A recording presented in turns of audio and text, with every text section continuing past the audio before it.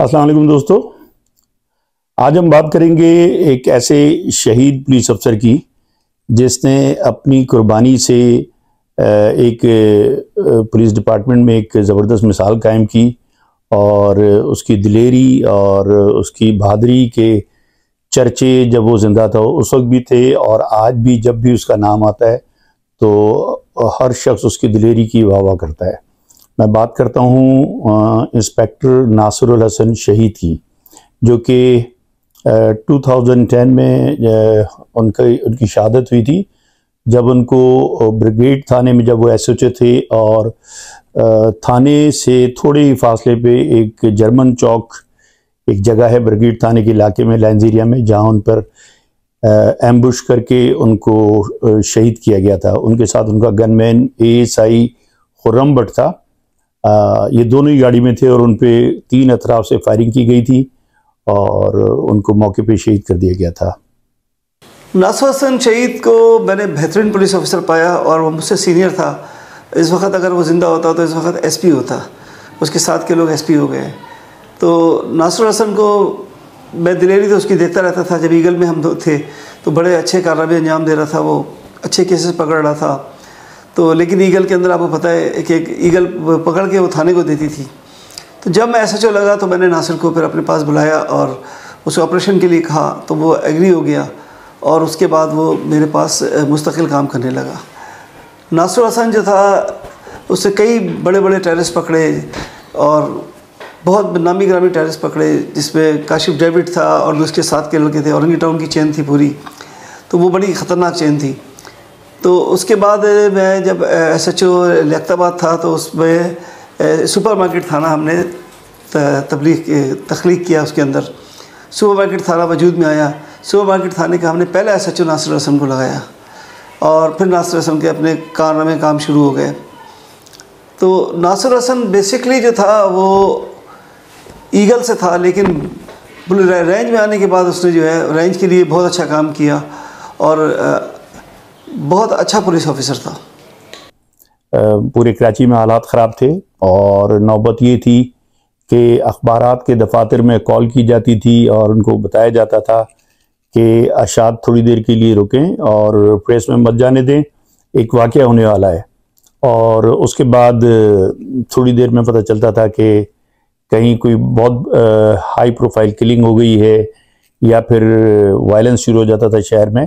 और ये अक्सर उस वक्त होता था जब ये शाम के अखबार शाया होने के लिए प्रेस जाते थे। तो बहुत से क्राइम रिपोर्टर इस चीज़ के गवाह हैं और वो बताएँगे और कई दफ़ा तो मतलब पुलिस पर भी ये इल्ज़ाम आया है और क्राइम रिपोर्टर कहते हैं कि पुलिस अफसरान भी उनको किसी भी इनकाउंटर से पहले बता दिया करते थे कि इनकाउंटर होने वाला है। और सुपर मार्केट थाना, जो कि पहले लियाबाद थाने का हिस्सा होता था जब वो उसे अलग एक थाना बनाया गया तो उसके एसएचओ, पहले एसएचओ इंस्पेक्टर नासरुल हसन शहीद थे।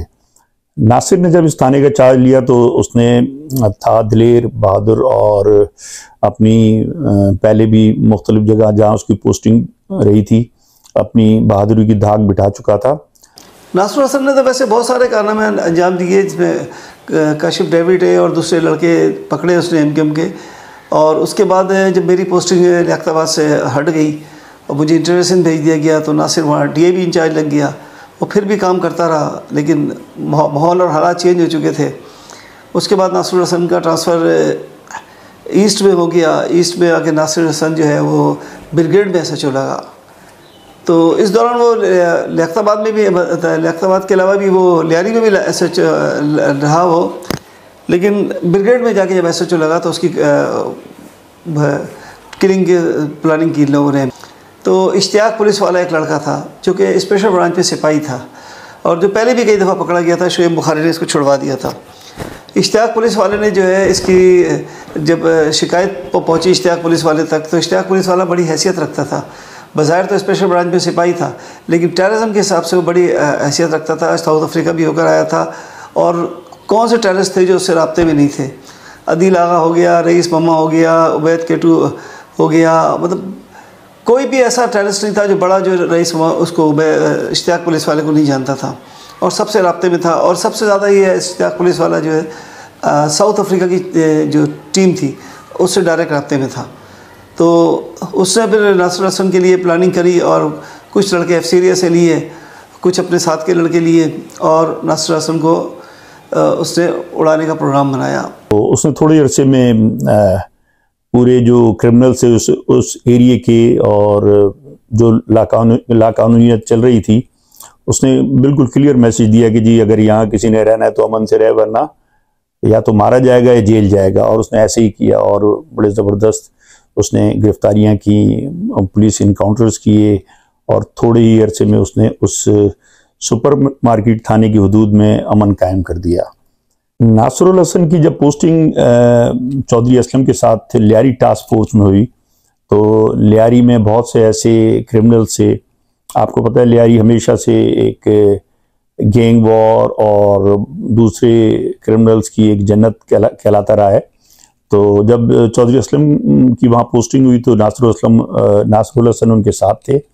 और वहाँ उन्होंने जो भी काम किया बड़े बड़े हाई प्रोफ़ाइल क्रिमिनल्स को इनकाउंटर में मारा अरेस्ट किया, बहुत सी बड़ी गिरफ्तारियाँ की और लियारी के अलावा कराची के तमाम इलाके जहाँ पर लियारी गैंग वार के असरात थे और क्रिमिनल्स शहर में भत्ताखोरी और टारगेट किलिंग और बहुत सी हाई प्रोफ़ाइल किडनैपिंग में मुलविस थे। उन तमाम लोगों को निशाने पे लियारी टास्क फोर्स ने रखा। चौधरी असलम साहब, उनकी टीम खसूस नासरुल हसन ने इसमें बड़ा काम किया। और पूरे शहर में ये लोग रेड करते थे और लियारी गैंग वार के लोगों को छुपने की जगह नहीं मिल रही थी। इन्होंने इनकाउंटर किए बहुत से लोग उसमें मारे और वो क्रिमिनल थे जो कि शहर में सैकड़ों लोगों की जान ले चुके थे। और नासरुल हसन इस पूरे ऑपरेशन में सबसे पेश पेश था।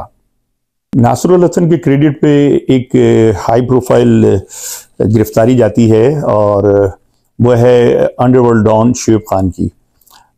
जब शुएब खान मफरूर हुआ उस पर पहले जेल में जेल में अटैक हुआ, उससे पहले सिटी गोल्ड में अटैक हुआ और इब्राहिम बोलू गैंग के साथ उसकी लड़ाई चल रही थी और जब वो ज़मानतों के बाद पुलिस की नज़रों से ओझल हुआ तो वो मफरूर हो गया और तमाम रबते ख़त्म कर दिए लोगों से और उसको उसको तलाश करना एक बहुत बड़ा मसला था उस वक्त।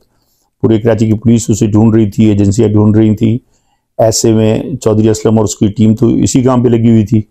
नासरुल ने एक इन्फॉर्मेशन हासिल की और चौधरी असलम को इन्फॉर्म किया, जिन्होंने सारा अरेंज किया और लाहौर से जाके नासरुल हसन ने दो दिन वहाँ एक पूरी मेहनत की, पूरा नेटवर्क था उसका, बड़ी अच्छी इन्फॉर्मेशन थी उसके पास और उसने पूरा वो ट्रेस किया, एक एक उसने जो भी उसके पास सुराग मिलता गया उस पर काम किया बिल आखिर उसने लाहौर से शुएब खान को गिरफ़्तार किया और उसे कराची लेकर आया, जो, जिस पे हाई प्रोफ़ाइल केसेस थे जिसके ऊपर। एक ऐसे हाई प्रोफ़ाइल टेररिस्ट था, सिद्दीक बोचा। जो कि कहते हैं कि पहले एम क्यू एम के लिए काम करता था और मिलिटेंसी में इन्वॉल्व था और उसके बाद वो इतना मौजूर हो गया कि वो एमक्यूएम के ही लोगों को टारगेट किलिंग का शिकार करने लगा और पुलिस अफसरान तो पहले उसने बड़े शहीद किए थे। एक एस एच ओ थे सादिक साहब बल्दिया टाउन में एस एच ओ थे उनको और उनकी पूरी छः सात पुलिस एहलकार थे उनके साथ, उनको वहीं बल्दिया टाउन में फारूक दादा के साथ मिलके सिद्दीक बोचा और उसके साथियों ने शहीद कर दिया था। इसके अलावा सिद्दीक बोचा ने फारूक दादा के मरने के बाद बल्दिया टाउन में कमान संभाली थी और बड़ी बेदर्दी से इसने मुखालफी को कत्ल किया। और वहाँ पर जो भी पुलिस एहलकार जाता था, ये लोग उसे किडनैप करके उसको मार देते थे। तो इस सदीक बुचा को जब टास्क मिला इसकी गिरफ्तारी का तो चौधरी असलम और नासरुल हसन इसकी तलाश में थे और बिलाखिर ये भी नासरुल हसन ने इसे ढूंढ निकाला और बल्दिया के इलाके में एक पुलिस इनकाउंटर में इसे हलाक किया।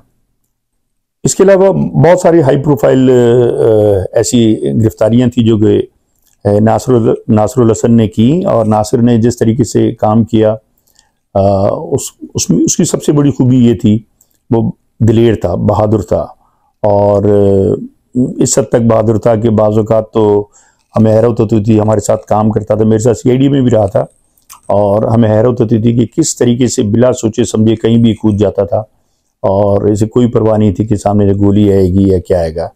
और कई दफ़ा अल्लाह ने उसे बचाया, बिल्कुल बाल बाल गोली ऐसे ऐसे हुई कि उसके बराबर में जो लोग बैठे हैं, उसको लग गई और ये बच गया। लेकिन डरता नहीं था, ये बहुत ही एक दिलेर और बिल्कुल बेखौफ किस्म का पुलिस अफसर था। प्लान इस तरह था कि ये इन्होंने इस तरह किया कि नासुर हसन जो था, उसकी आदत थी कि खाना वो घर का खाता था और खाना वो घर में उसके पकता था और कुक पकाते थे या ख़ुद पकाता था वो। फैमिली तो उसकी रहती नहीं थी यहाँ पर। तो नासुर हसन जो है, खाना खाने जा रहा था थाने से। तो वो प्राडो के अंदर बैठा हुआ था, उसके साथ एक उसका सिपाही था, जो बड़ा दिलेर था लड़का वो भी, और एक नासुर हसन था। जब ये जैसे ही चौरंगी पे पहुँचे हैं तो उन्होंने पहले से अम्बुश करने के लिए टीम बैठी हुई थी, इश्तियाक पुलिस वाले की। इश्तियाक ने उनको गो हेड दिया और लड़कों ने उन्हें फायर कर दिया। नासुर हसन की बिल्कुल एक एक गोली बिल्कुल सर पे लगी उसके। तो जिसकी वजह से वो जो है और गोलियाँ लगी लेकिन एक गोली बिल्कुल सर पे लगी।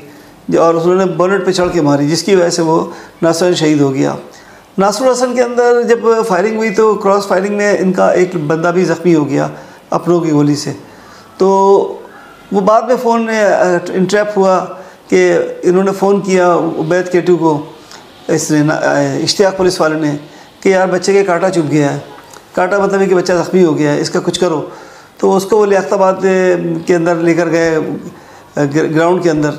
वहाँ जाके डॉक्टर को लेकर आया, डॉक्टर ने देखा, डॉक्टर ने कहा, नहीं, ये तो वहाँ से क्लिनिक से होगा। फिर उसके बाद उन्होंने किसी हॉस्पिटल में ले गए और उसके बाद हॉस्पिटल में जाके उसका इलाज कराया।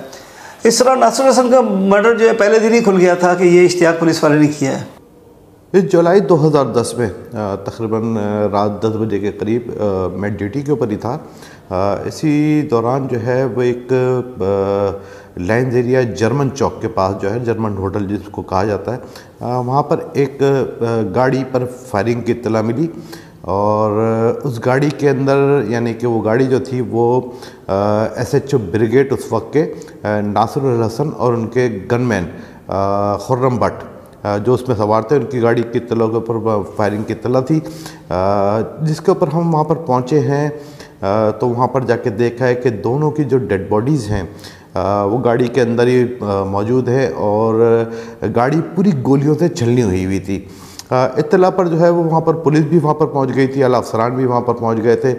वहाँ पर जो है उनकी दोनों की डेड बॉडीज़ को निकाल कर जिन अस्पताल मुंतकिल किया गया था।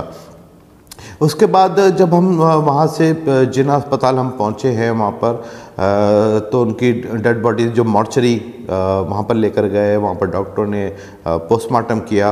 तो दौरान भारी तादाद में जो है वो पुलिस के आला अफसरान भी पहुँच गए और साथ ही जो पुलिस एहलकार, जो अफसरान थे जो नासिर हसन के साथ ड्यूटी उन्होंने सर्व करी है ख़तरों के अंदर खेले हैं, वो वहाँ पर भी पहुँच गए थे।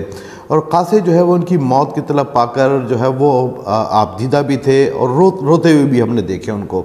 जो डॉक्टरों ने जो पोस्टमार्टम के बाद ये बताया है कि क्लैशन कोफ तीस बोर पिस्तौल और नैन एम एम पिस्तौल की गोलियाँ इन दोनों को लगी हैं। और मुख्तलिफ़ तरह के बहुत बेतहाशा इनको गोलियाँ फ्रंट से ही मारी गई थी। बाद में जब गाड़ी की इंस्पेक्शन हुई उसकी जो रिपोर्ट ये बताई गई कि इनकी जो फ्रंट स्क्रीन के ऊपर जो है वो फायरिंग की गई वो तकरीबन 10 के करीब गोलियाँ जो हैं वो फ्रंट की साइड से फायर किए गए जबकि दोनों अतराफ़ के जो दरवाजे थे वो गोलियों से छन्नी थे। आ, ये भी बताया गया है कि वहाँ पर जो मालूम ये आई कि जो मोटरसाइकिल सवार थे इन्होंने फायरिंग की थी।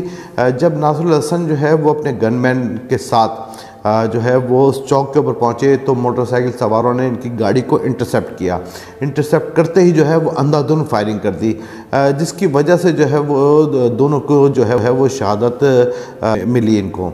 नासिर हसन के बारे में ये बताएँ कि ये कराची ऑपरेशन जो नवे की दहाई में स्टार्ट हुआ था उसके ये बड़े अहम किरदार थे।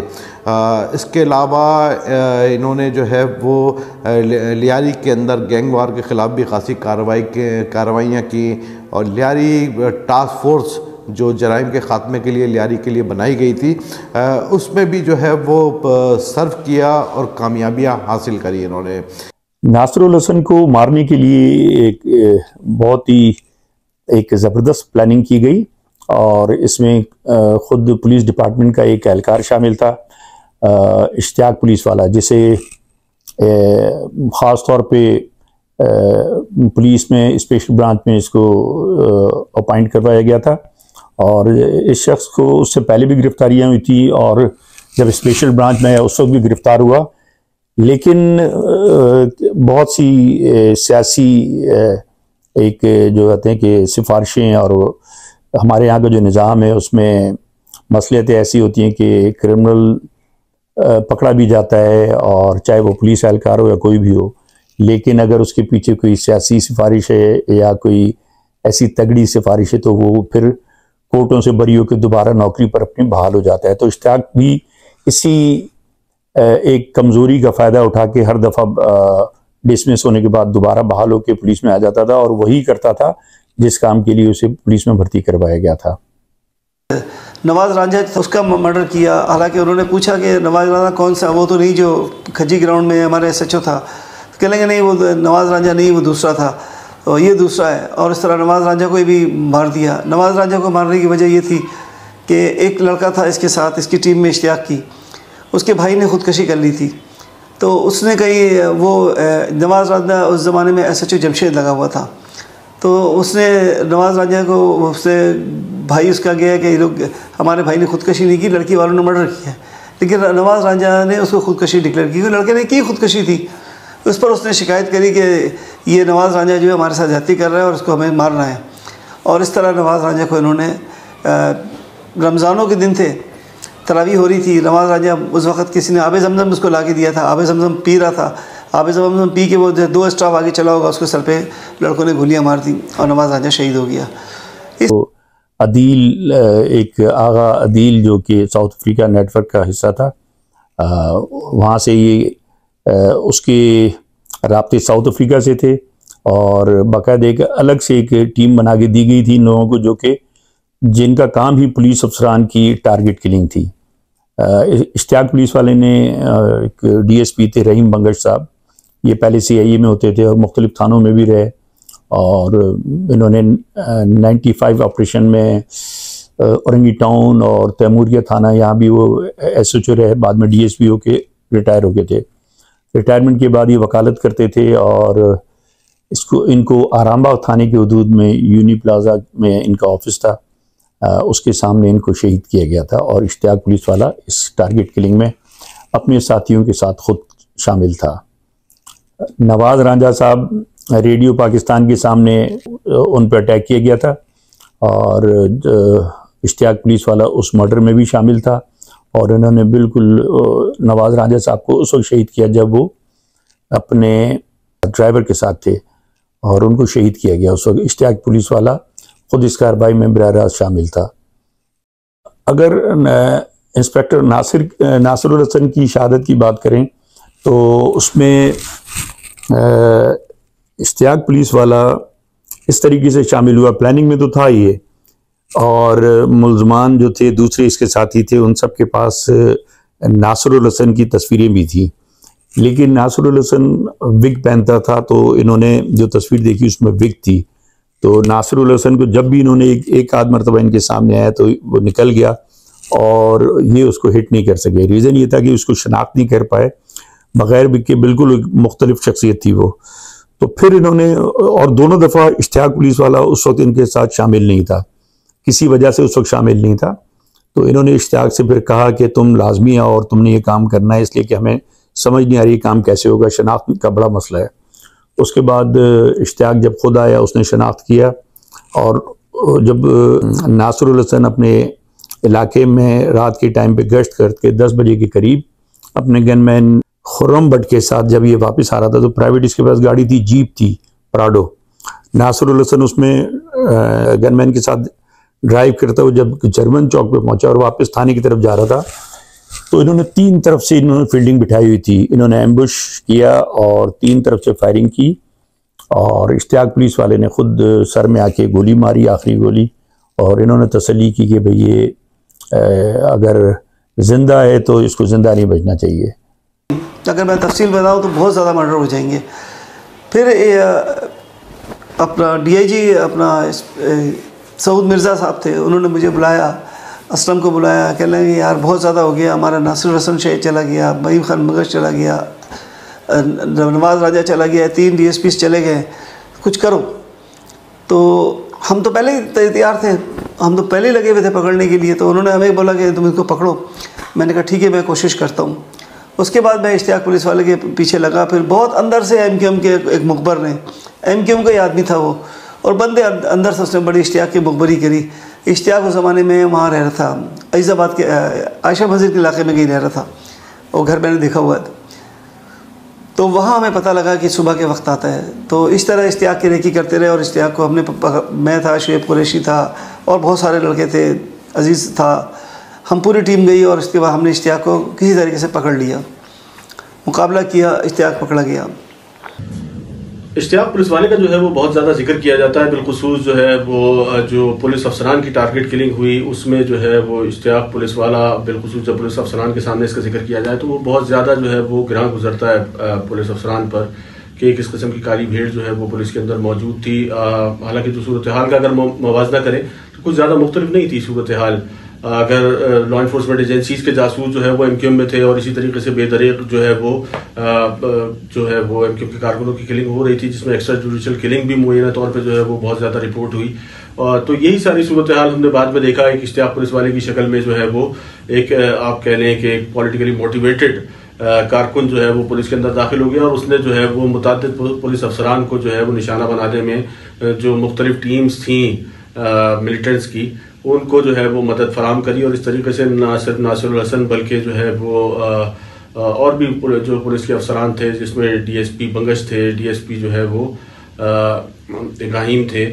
इसके अलावा भी जो है वो मुतद मतलब जो पुलिस अफसरान का कहना है या जो जीआईटी से मालूम हुआ है वो मुतद पुलिस अफसरान को जो है वो जो है वो टारगेट किलिंग का निशाना बनाया गया और ख़ासतौर पर इश्तियाक के हवाले से जब बात की जाती है तो इश्तियाक जो है वो मिलिटेंट्स को सबसे ज़्यादा जो मदद जो है वो फराम करता था, वो करता था शनाख्त में कि अफसरान की शनाख्त जो है वो, आसान हो जाती थी। पुलिस के लिए यकीन जो है वो एक बड़ा एक कह लें आपके एक धब्बा था इस सूरत में कि पुलिस को जो है इसको आइडेंटिफाई करने में इसकी शनाख्त करने में बहुत ज़्यादा वक्त जो है वो लगा। इश्तियाक अपनी नौकरी से लेके ऑनवर्ड जो है वो चार दफ़ा जो है वो गिरफ़्तार हुआ और पुलिस जो है वो इसको आ, किसी भी केस में जो है वो कन्विक्ट कराने में नाकाम रही और हालिया जो अभी इतलात मौसू हो रही हैं अभी जो है वो इश्तियाक कुछ अर्से कबल जो है वो जेल से एक दफ़ा फिर रिहा हो गया है। जो चीज़ें रिपोर्ट्स हुई, उसमें जो है वो दर्जन भर टीमें जो है वो कराची में यकीन जो है वो काम करती थी और इस किस्म के जो रिएक्शन सामने आए। ये तमाम वो पुलिस अफसरान थे जो कहीं ना कहीं किसी न किसी सतह पर जो है वो बानवे से लेके जो ऑपरेशन एम के खिलाफ शुरू हुआ है, होता है। उसमें जो है वो कहीं ना कहीं इनका किरदार था और यकीन उन अफसरान को जो है वो आप, क्योंकि सूरत हाल जो है वो ऐसी थी कि पुलिस ने भी जो है वो किसी किस्म की जो कानून का जो दायरा है, उसको ऐसा कोई ख़ास जो है वो मरूज खातिर नहीं रखा और जहाँ जिस जिस बुनियाद पर जो है वो अगर कोई मिलता था तो उसका जो है वो कत्ल मुबैना तौर पर जो है वो पुलिस के हाथों हुआ। उसमें बेतहाशा जुडिशल किलिंग के वाक़ात हैं और यही वो वजह बनी कि जब जिस वक्त मौका मिला तो इन जो जो विक्टम्स थे या जो उनके जो एसोसिएट कारकुन थे, उन्होंने एक ऑर्गेनाइज तौर पे जो है वो ये सारी जो है वो किलिंग्स पुलिस अफसरान की की।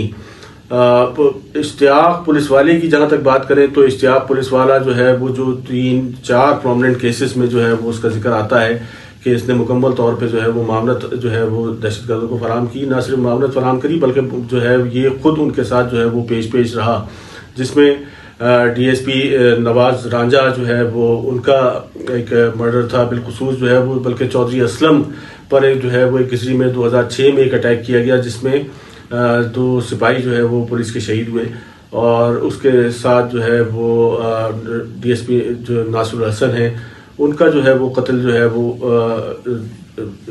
उसमें जो है वो बड़ी हद तक इसने मावरत फराम करी। इसी तरीके से एक और डीएसपी थे गालिबन रहीम बंगश साहब उनको जो है वो कत्ल किया।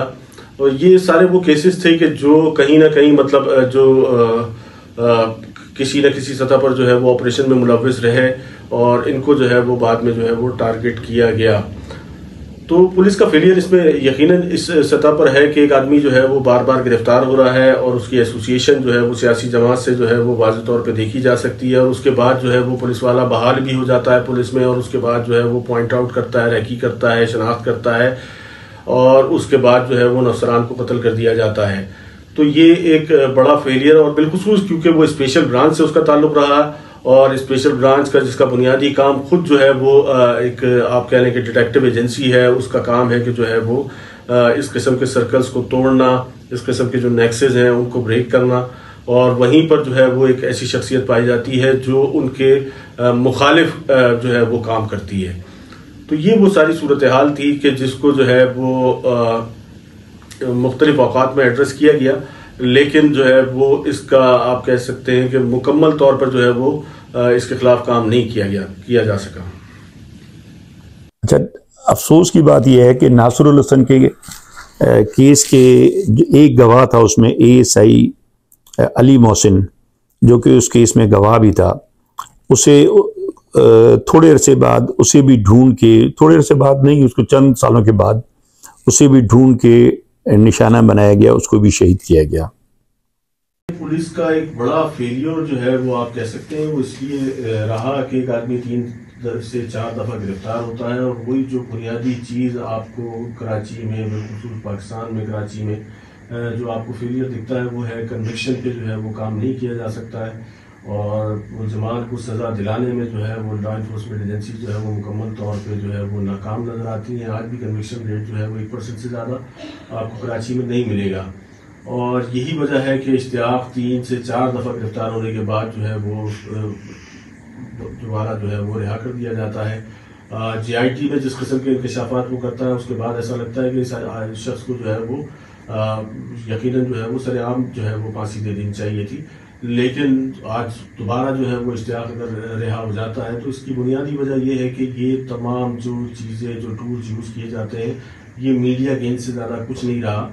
और एक शख्स डिपार्टमेंट में रहते हुए मुताद बार जो है वो साउथ अफ्रीका जाता है और उस वक्त की जितनी प्रोमिनेंट टीमें जो है वो जो मिलिटेंसी काम कर रही थी, उनके साथ उसके रवाबित देखे जाते हैं।